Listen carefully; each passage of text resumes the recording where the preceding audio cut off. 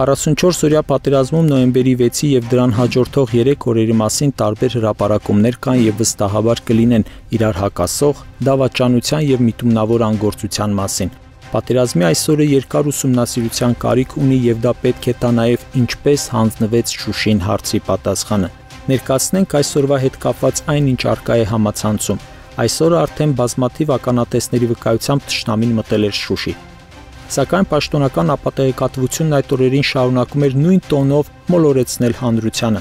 Հոկտեմբերի վերջին Արայիկ Հարությունյանը երբ հայտնեց, որ ճշնամին գտնվում է Շուշիի մատույցներում, այս ահազանգը որևէ էֆեկտ չունեցավ անզգայացած հանրության մոտ։ Ավելի վատ տողատակերով էր Արծրուն Հովանիսյանի այդ օրվա գրառումները, հայտարարությունները Շուշիի վերաբերյալ։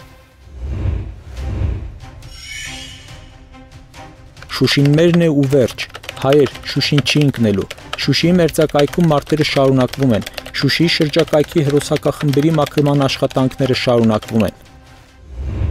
Փաստն այն է, որ այսպիսի գրառումները սթափեցնող չէին։ Հանդրությունը հաղթում ու գորբագյոր էր անում տանը նստած, իսկ արդեն Շուշիում իշխանությունը պատասխանատվությունից ազատվելու համար շարունակում էր զոհեր տալ։ Իհարկե դժվար է մեղադրել հանրությանը, որովհետև բացի լրահոսին հետևելուց ինչ պետք է անել։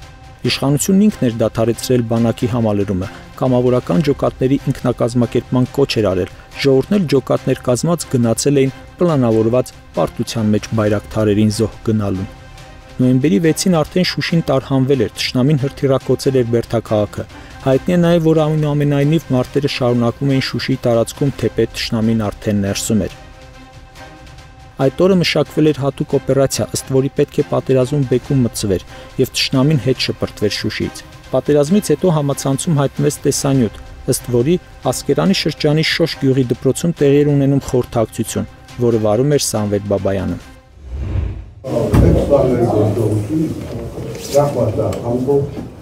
Ղարաբաղի ճակատագրիչ։ Այդ բաների գործողությունը ճախմատա ամբողջ Ղարաբաղի ճակատագրիչ կարող խաչքանքի չմասում։ Այսինքն որևէ մի րոպե հապախ է, կա պրոբլեմներ ստեղծել, չկա, էլի զադաչա ստացալը ամեն մարդ իրան զադաչան կատարում։ Որ բրացինիկի թիկունքը փակվի, սնուցման մեխանիզմը փակվի,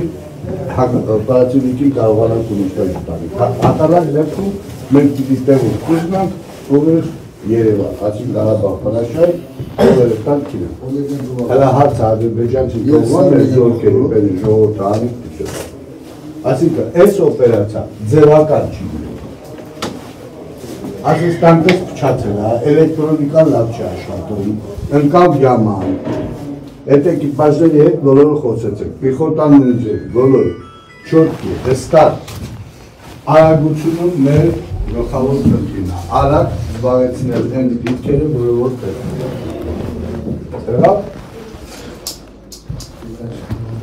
Առավոտ մի րոպե մեկը Շուշանա 6-ին արդեն իսկ խոդում եք, մի ժամ նստում եք, դիտքերը նայում եք որտեղ ինչ, կողմնորոշում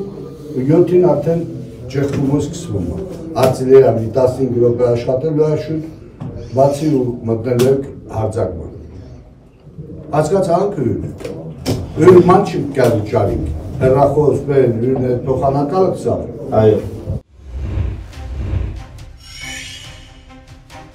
Պատերազմի ժամանակ Արցախի անվտանգության խորհրդի քարտուղար Սամվել Բաբայանը 2020 թվականի նոյեմբերի 5-ին Սղնախի օպերացիան իրականացնելու նպատակով խորհրդակցություն է անցկացնում Շոշ գյուղի դպրոցում։ Հանձնարարականները տալիս ծրագրվող գործողությանը մասնակցող ստորաբաժանումների ղեկավարներին։ Նոյեմբերի 6-ի առավոտյան պետք է ճեղքում իրականացվեր, որը հնարավոր է բեկեր պատերազմի ընթացքը ու այլ վերջնարդյունք լիներ։ Առավոտյան ժամը 7-ին արձանագրվում է, որ օպերացիան տապալված է։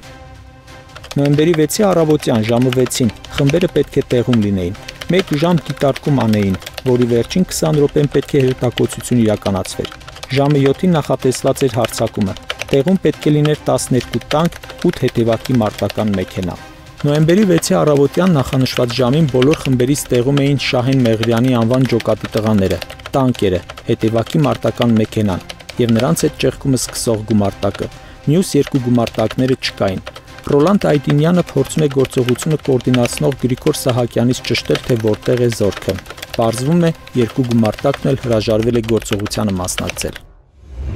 Այստեղ առավել ուշագրավ էր, որ եթե սա հասանելի էր հանրությանը պարտությունից ամիսներ անց, բնականաբար Փաշինյանը գիտեր նույն ժամին, սակայն շարունակվում էր ներկայացվել ծանր մարտերի մասին։ Օպերացիան տապալված էր եւ ինչպես նշվում էր տարածված տեսանյութում, վճռորոշ էր Ղարաբաղի ճակատագրի համար, Ավելին, այդ օրը մյուս քաջատեղյակը պատերազմի ընթացքից վարչապետի մարտական ուղով անցնող Տիկինը որոշեց անվանել իր ջոկատը հայոց պատմության ամենաթույլ թագուհու անունով Էրատոյի եւ հայտարարեց, թե պատրաստ են մարտերի։ Տպավորություն էր, թե սահմանին որքան վատ է լինում, այդքան Փաշինյանի ընտանիքը մղվում է առաջին պլան, շեղելով հանրության ուշադրությունն ու քննարկումները տանելով այլ դաշտ։ Այդ օրը նաև համացանցում տարածվեց այսպես ասած առաջնագծում կրվող Աշոտ Փաշինյանի իրական առաջնագծից նկարը։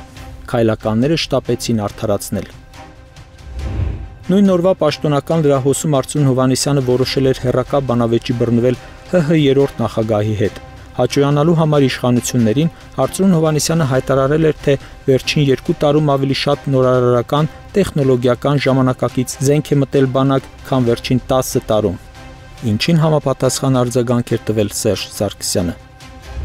Իհարկե, հետո գեներալ գնդապետ Մովսես Հակոբյանն ու այլ գործիչներ նշեցին, թե ինչպես են զենքի մատակարարման պլանները փոխվել ու Նիկոլ Փաշինյանը բանակը զինել է անորակ զենքով։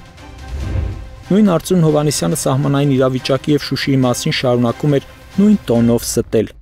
Եթե 1992 թվականի մայիսի 8-ը հայոց պատմության մեջ նշվել է որպես Շուշիի ազատագրման օր, հայոց պատմության մեջ հավանաբար այս անցնող օրերը կմտնեն որպես Շուշիի պաշտպանության փայլուն օր։ Հակառակորդի հետախուզա դիվերսիոն առանձին վաշտային մարտավարական խմբերի, վարձկանների, հերոսական խմբերի ոչնչացման գյորբագյոր ռազմագործողությունը հաջողությամբ շարունակվում է այսօր Շուշիի հերոսական պաշտպանության օրերից էր։ Շուշին մերն է, Շուշին չի ընկնելու։ Եվ ինչքան էլ որ դրա մասին բաղձար Ալիևը վստահեք, լծվեք վստահությամբ, հայոց բանակը մինչև վերջ կրվելու է, ու Շուշին չի ընկնելու։ Մենք պատվով դուրս ենք եկել այս իրավիճակից եւ իրավիճակը փոխված է վաղը դժվար թե նույն իրավիճակը լինի։ Բայց ծանր մարտեր են եղել։ Որևէ հայ չէր պատկերացնի մի ժամանակ, որ Շուշին հայտնվի ճշնամու ձեռքին։ Ազատագրումից մինչև Արցախյան երկրորդ պատերազմ Շուշին հայի հաղթանակած տեսակի մարմնավորումներ, բայց հանձնվեց։